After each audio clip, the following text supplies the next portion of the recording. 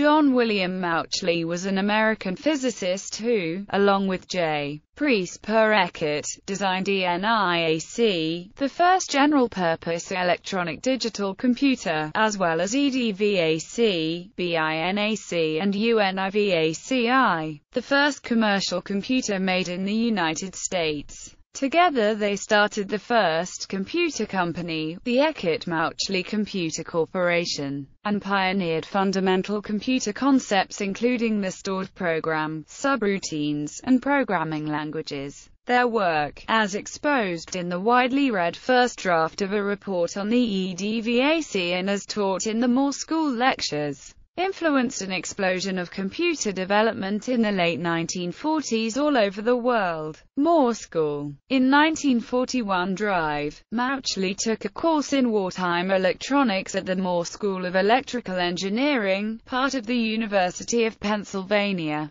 There he met J. Presper Eckert, a recent Moore School graduate. Mauchly accepted a teaching position at the Moore School, which was a center for wartime computing. Eckert encouraged Mauchly to believe that vacuum tubes could be made reliable with proper engineering practices. The critical problem that was consuming the Moore School was ballistics. The calculation of firing tables for the large number of new guns that the U.S. Army was developing for the war effort.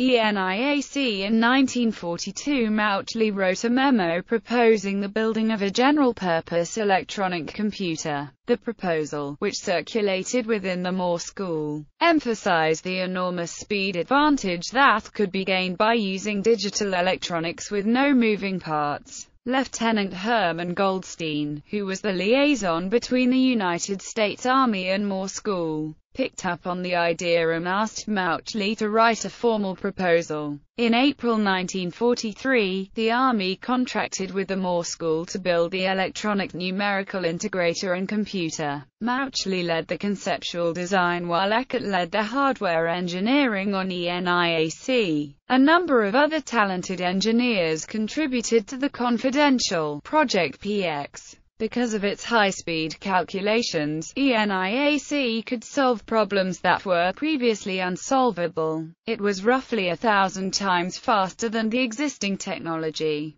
It could add 5,000 numbers or do 357 10-digit multiplications in one second. ENIAC could be programmed to perform sequences and loops of addition, subtraction, multiplication, division, square root, input, output functions, and conditional branches. Programming was initially accomplished with patch cords and switches, and reprogramming took days. It was redesigned in 1948 to allow the use of stored programs with some loss in speed. In 2002, for his work on ENIAC he was inducted, posthumously, into the National Inventors Hall of Fame, EDVAC. The ENIAC design was frozen in 1944 to allow construction. Eckert and Mauchly were already aware of the limitations of the machine and began plans on a second computer, to be called EDVAC. By January 1945 they had procured a contract to build this stored program computer. Eckert had proposed a Mercury delay line memory to store both program and data. Later that year, mathematician John von Neumann learned of the project and joined in some of the engineering discussions.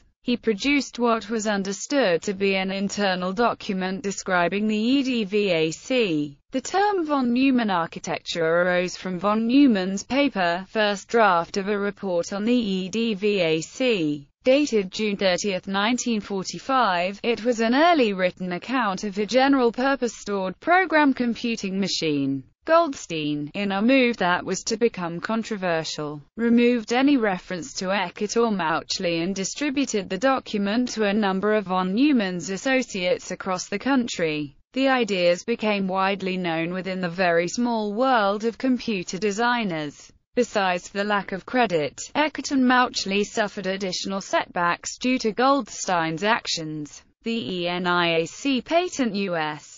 Patent 3120606, issued in 1964 was filed on June 26, 1947, and granted February 4, 1964. But the public disclosure of design details of EDVAC in the first draft was later cited as one cause for the 1973 invalidation of the ENIAC patent. The Moore School Lectures in March 1946, just after the ENIAC was announced, the Moore School decided to change their patent policy. In order to gain commercial rights to any future and past computer development there, Eckert and Mauchly decided this was unacceptable. They resigned. However, they had already been contracted to do one more thing at the Moore School, to give a series of talks on computer design. The course, The Theory and Techniques for Design of Digital Computers, ran from July 8 to August 31,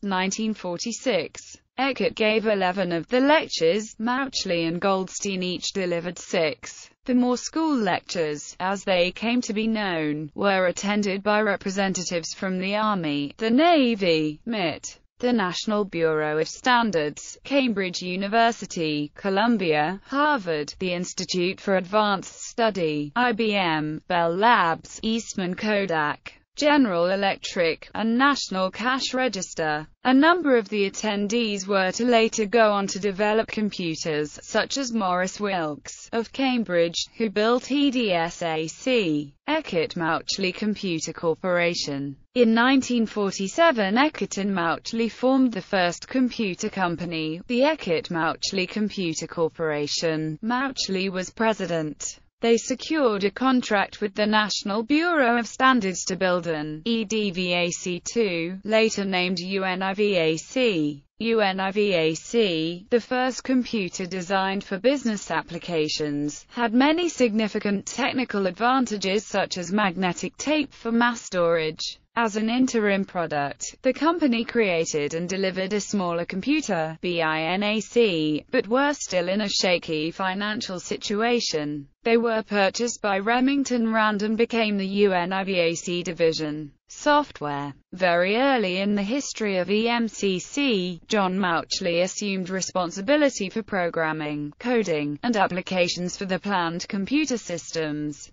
His early interaction with representatives of the Census Bureau in 1944 and 1945, and discussion with people interested in statistics, weather prediction, and various business problems in 1945 and 1946 focus his attention on the need to provide new users with the software to accomplish their objectives. He knew it would be difficult to sell computers without application materials, and without training in how to use the systems. And so, EMCC began to assemble a staff of mathematicians interested in coding in early 1947. Mauchly's interest lay in the application of computers, as well as to their architecture and organization. His experience with programming the ENIAC and its successors led him to create shortcode, the first programming language actually used on a computer. It was a pseudocode interpreter for mathematical problems proposed in 1949 and ran on the UNIVAC and 2. Mauchly's belief in the importance of languages led him to hire Grace Murray Hopper to develop a compiler for the UNIVAC. John Mauchly has also been credited for being the first one using the verb to program in his 1942 paper on electronic computing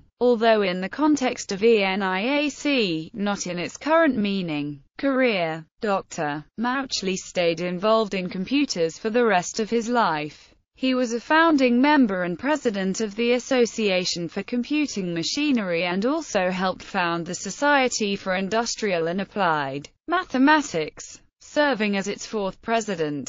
The Eckert Mauchly Corporation was bought by Remington Rand in 1950 and for 10 years Drive, Mauchly remained as director of UNIVAC Applications Research. Leaving in 1959 he formed Mauchly Associates. A consulting company that later introduced the critical path method for construction scheduling by computer. In 1967 he founded Dynatrend, a computer consulting organization. In 1973 he became a consultant to Sperry Univac. Awards Mauchly received numerous award and honors. He was a life member of the Franklin Institute, the National Academy of Engineering and the Society for Advancement of Management. He was elected a Fellow of the IE, a predecessor Society of IEEE, in 1957, and was a Fellow of the American Statistical Association. He received an LLD degree from the University of Pennsylvania and a DSc degree from Ursinus College.